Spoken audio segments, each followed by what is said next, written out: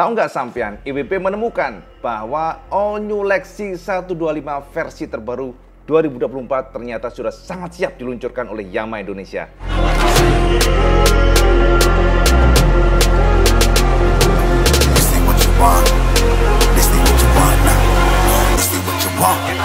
Who can't put me in a box. I redefine any definition you got. I am the tiger, I'm making steps cannot stand it. All I know, the flow harder than a scotch bunny. Don't try study me, you cannot manage. This ain't what you want, bitch, I'm a fucking phenomenon.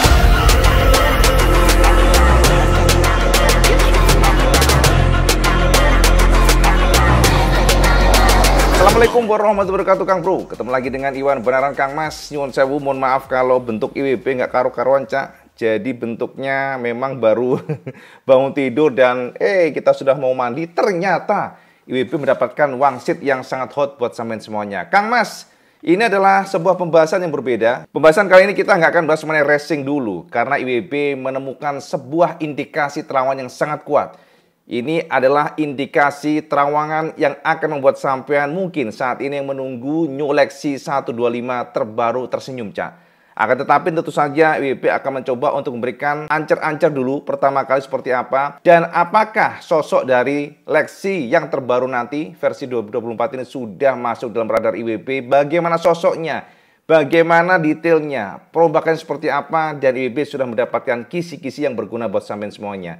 Jadi Kang Mas, kita akan mencoba dulu sedikit menguak tentang Lexi. Sampean tahu bahwa Yamaha sangat kuat di segmen maxi scooter. Yamaha adalah salah satu pabrikan Jepang yang berhasil dan sangat sukses saat itu memperkenalkan Mio. Dari sinilah kita harus katakan Yamaha ini adalah salah satu pabrikan yang memiliki inovasi lebih. Artinya mereka membuka gerbangnya, Cak. Babat alas lah bahasanya, Cak. Mereka yang mencari segmennya, mereka yang mencoba untuk membuka segmen baru karena memang untuk bertarung dengan segmen yang sama itu berat musuh Honda, Cak. Nah, dari sanalah akhirnya Yamaha mengeluarkan Maxi Scooter yang saat itu disebut sebagai NMAX. Dan ini adalah sebuah motor yang luar biasa menyita perhatian karena kenapa? Harganya, Mas. Saya bayangin aja, saat itu Honda mengeluarkan, nggak mengeluarkan sih, mereka sudah memasarkan, tapi secara CBU, PCX 125 dengan harga 36 juta, Cak. Itu CBU dari Thailand. Ya, memang CBU pasti mahal ya, pajak dan sebagainya.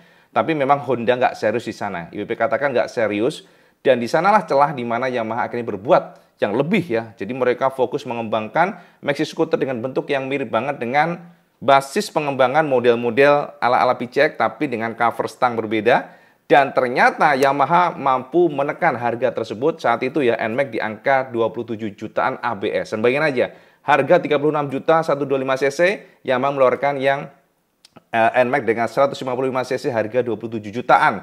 Dan itu nggak selesai, Cak. Pada gelombang keduanya mereka mengeluarkan yang versi non ABS dengan harga 23,5 juta. Ibu sangat ingat itu.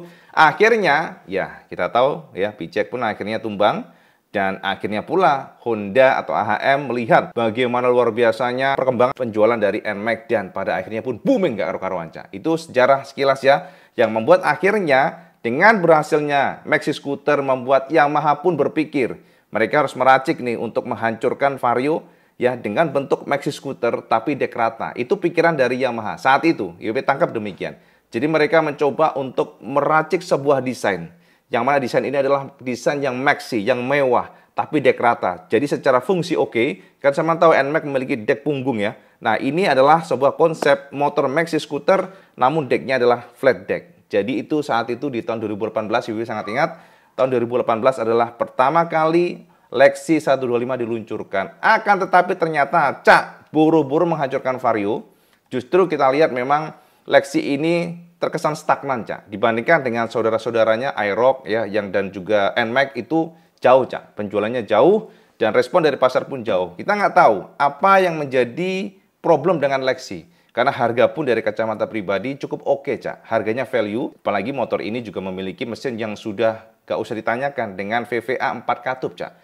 Dan saat itu menggunakan engine NVX 125 dari Vietnam. Artinya ya powernya besar, kemudian juga bagasi besar, fiturnya juga oke. Okay Namun itulah Cak, ternyata kalkulasi meleset, itulah pasar yang nggak bisa ditebak. Akan tetapi bukan berarti bisa kita katakan bahwa Lexi itu gagal, enggak Cak. Terlalu lama memang, terlalu lama dan kalau kita perhatikan, Yamaha Lexi ini sudah cukup berumur. 5 tahun adalah sebuah jenjang waktu yang cukup lama. Pengen aja 2018, sekarang 2023, dan 5 tahun sudah on the way nih ceritanya. Makanya kita berharap Yamaha ada New Lexi 125, dan pada akhirnya IWP sudah mantau Cak. Jadi kalau sampai nanya, sama kan banyak komen ke Iwan Banara nih, Cak IWP kapan nyuleksi, kapan nyuleksi. Dan IWP pantau, Cak. IWP pantau. Dan inilah yang membuat IWP penasaran dan bingung. Kenapa? Soalnya di tahun kemarin, tahun 2022, IWP sudah mencoba menerawang tentang leksi terbaru ini, tapi hilalnya kok sangat sangat lemah itu awalnya. Jadi sangat lemah dan IWB juga bingung. Karena kenapa? Ini kan sudah tahun keempat tuh 2022. Kok nggak ada pergerakan? Apakah status leksi ini akan didiskontinu oleh Yamaha? Nah itu yang menjadi pertanyaan IWB dan ternyata tak terbukti. Karena kenapa? Ternyata di awal tahun ini Kang Mas, sama tahu nggak? Di awal tahun ini IWB mengendus sangat tajam dan tajam kasarannya dengan dalam deep analyze, deep terawangan. Tahu nggak sampean? IWB menemukan bahwa sudah ada pergerakan proyek New Lexi.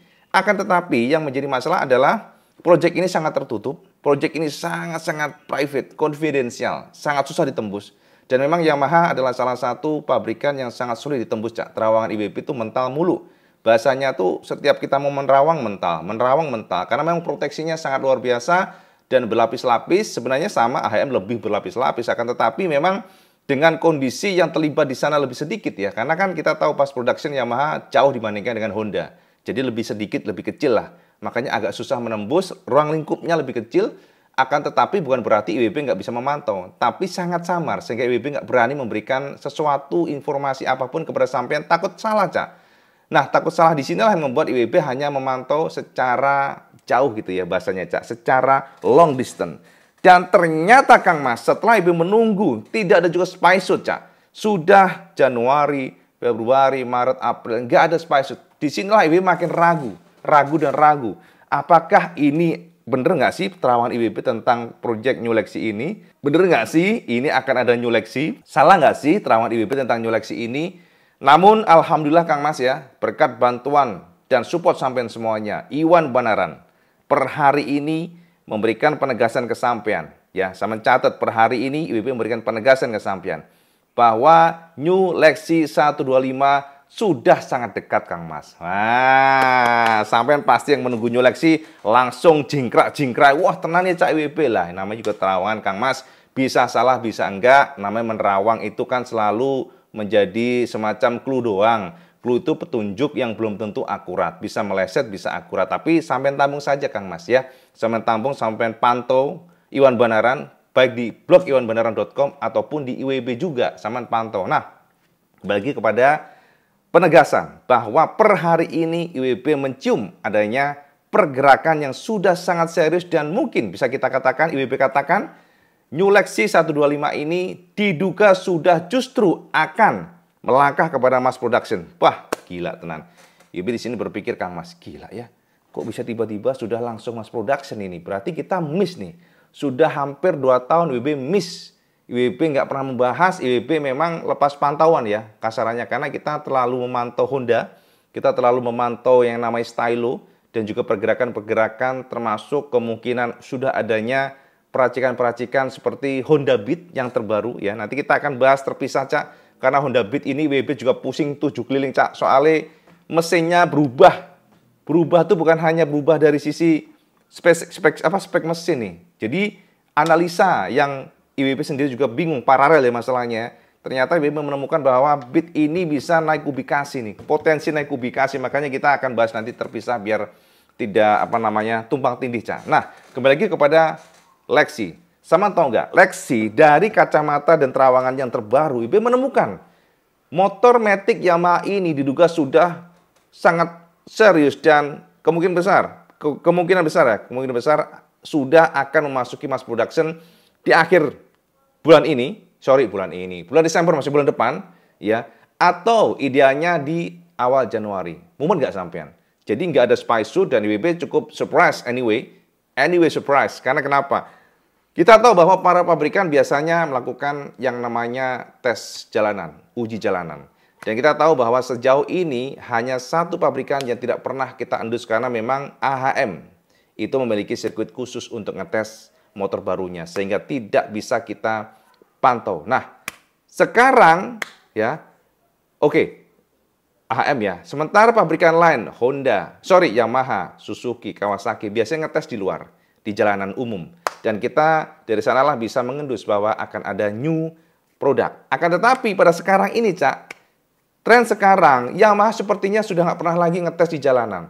Atau mungkin kita miss tidak pernah bisa ngambil spy suitnya. Yang jelas sekarang Yamaha tidak kita temukan ngetes di jalanan, tidak kita temukan foto spy suit, kita tidak mampu mendapatkan foto spy suit yang artinya mungkin saja strategi Yamaha itu berbeda sekarang. Yang pertama bisa saja mereka ngetes juga tetap ngetes, tapi mereka menggunakan casing generasi lama, kita nggak tahu, jadi tidak mencurigakan. Atau bisa saja memang mereka sudah memiliki sirkuit khusus, kita nggak tahu. Yang juga sama dengan Honda, di mana Yamaha ngetes di sirkuit pribadinya mereka. Ya, kita nggak tahu di pabriknya mungkin. Tapi yang pasti, untuk leksi ini, WP surprise sekali karena tidak ada spy suit, tidak ada pergerakan tes di jalanan, tapi tiba-tiba IWB sudah menemukan indikasi ya terawangan bahwa New Lexi 125 sudah memasuki, akan memasuki mass production. Gila nggak? Sekarang menjadi pertanyaan adalah bagaimana Cak IWB dengan desainnya? Nah ini Kang Mas, IWB memang bukan hal mudah ya, IWB berusaha keras untuk mencari kisi-kisi samar-samar tentang desain dari New Lexi ini. Ini nggak mudah Cak.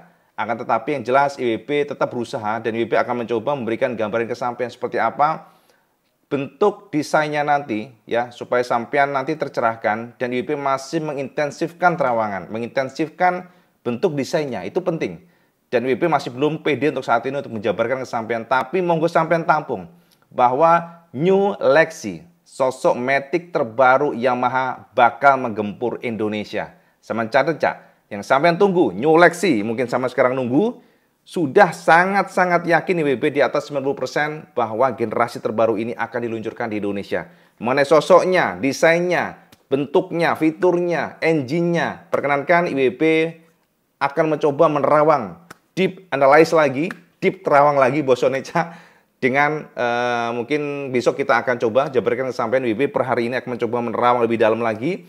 Tapi yang jelas WB akan meracik video yang berbeda, maksudnya video besok khusus untuk menerawang betul-betul tentang bagaimana desainnya, shape-nya. WB akan jabarkan kesampaiannya. Pasti desainnya lebih keren dibandingkan dengan sebelumnya.